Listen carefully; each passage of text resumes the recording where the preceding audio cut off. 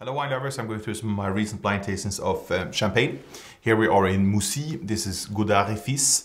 It's the rosé written on vintage and um, this is a Chardonnay based um, cuvée. I think this is 89 Chardonnay 11 Pinot Noir, uh, something in that direction.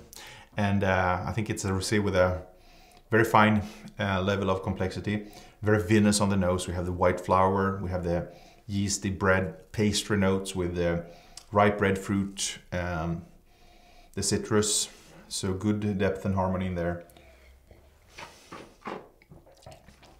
Really nice grip on the palate. It's um, again this vinous texture with um, crushed red berries, the nuts, the citrus, fine autolytic notes and complexity with um, a rather mild creaminess and a, a, long finish.